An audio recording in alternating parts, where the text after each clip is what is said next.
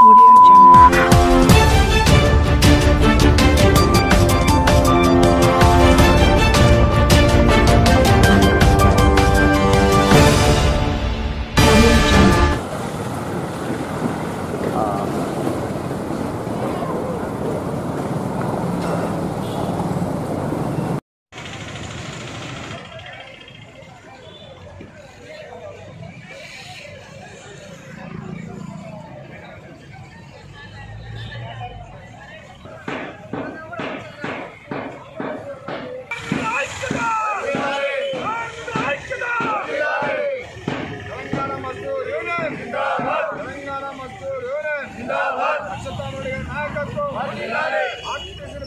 కార్మికుల ఐక్యత!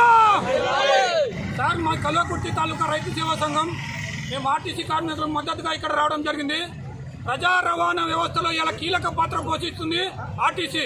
ఎందుకంటే గరీబోనికి ఇలా కారు లేదు జీపు లేదు వేరే వాహనం లేదు. కాబట్టి ఆశ్రయ ఆర్టీసీని ఆశ్రయిస్తేనే వాళ్ళ గమ్యస్థానానికి చేరుతున్నారు కాబట్టి ఎంతోమంది వేల కుటుంబాలు ఇలా వేల కార్మికులు ఆర్టీసీ మీద ఆధారపడి బతుకుతున్నారు సార్.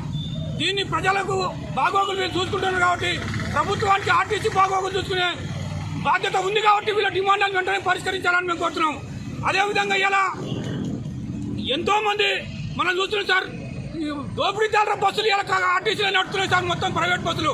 ప్రైవేట్ బస్సులను వెంబడే తొలగించాలి ప్రభుత్వమే ఆర్టీసీ బస్సులను ఈ డిపార్ట్మెంట్కు కలిగి సమకూర్చాలని మేము కోరుతున్నాం సార్.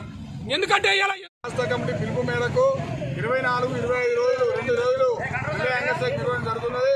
దానిలో ఏంటంటే ప్రధానమైన సమస్యలు ఏంటంటే ఒకటి ఆర్టీసీ కార్మికులు ఆర్టీసీని తెలంగాణ రాష్ట్ర రోడ్డు రవాణా సంస్థను మరి ఏదైతే ఏపీఎస్ ఆర్టీసీలో మాదిరిగా మరి ఆర్టీసీ ప్రభుత్వ ప్రభుత్వంలో విలీనం చేయాలి. అదేవిధంగా కార్మికులు రావాల్సిన ఒకటి నాలుగు రెండు వేల పదిహేను రావాల్సినటువంటి కొత్త జీతపత్యాలను వెంటనే అమలు చేయాలి. అదేవిధంగా ఆర్టీసీ ఏదైతే కార్మికులు దాచుకున్న సొమ్ము పిఎఫ్ కానీ సీసీఎస్ కానీ ఎస్ఆర్పిఎస్ కానీ ఎస్పీటీ కానీ ఆ డబ్బులు ఏదైతే ఆర్టీసీ వాడుకున్నదో ఆ బకాయిలను వెంటనే రిలీజ్ చేయాలని చెప్పి ప్రధాన డిమాండ్. అదేవిధంగా ఆర్టీసీలో కండక్టర్ ఉద్యోగ భద్రతకు సంబంధించి సబ్ కమిటీ ఏడుగురు మంత్రుల కమిటీ వేసారు ఆ కమిటీ ఇచ్చిన ఆ కమిటీ యొక్క మరి ఆ రోజు ఇచ్చినటువంటి హామీని అమలు చేయాలని చెప్పి కూడా విజ్ఞప్తి చేస్తా ఉన్నాం. అదేవిధంగా ఆర్టీసీలో ఖాళీలు విపరీతంగా పెరిగిపోయిన కండక్టర్ డ్రైవర్లు లేక మెకానిక్ లేక శ్రామికులు లేక మరి పరిమాణం ఉన్న కార్మికులు సంపాదిస్తాం నిజంగా నీకు బీసీల పట్ల ఏమాత్రము అభిమానము లేకపోతే ప్రేమ లేకపోతే వాళ్ళ అభివృద్ధిగా చిత్తచిత్తున్నట్టు ఉంటే ఇమ్మీడియట్గా కోర్టుకు పర్సంటేజ్ సబ్మిట్ చేసి ఇమ్మీడియట్గా జనగణన చేసి దాన్ని సబ్మిట్ చేసి ఇవ్వాలని మేము డిమాండ్ చేస్తున్నాం. లేని పక్షంలో మేమైతే మా పార్టీ నుంచి నిర్ణయం తీసుకున్నాం. చట్టబద్ధంగా రాకపోయినా ఫిఫ్టీ పర్సెంట్ మేము కల్పిస్తాం. ఫిఫ్టీ పర్సెంట్ కంటే ఎక్కువనే అవుతుంది. ట్వంటీ టూ పర్సెంట్ ఏమో చట్టబద్ధంగా వస్తే మేము మిగిలిన జనరల్లో మేము మిగతా యాభైలో ఇరవై ఐదు ఇస్తున్నాం.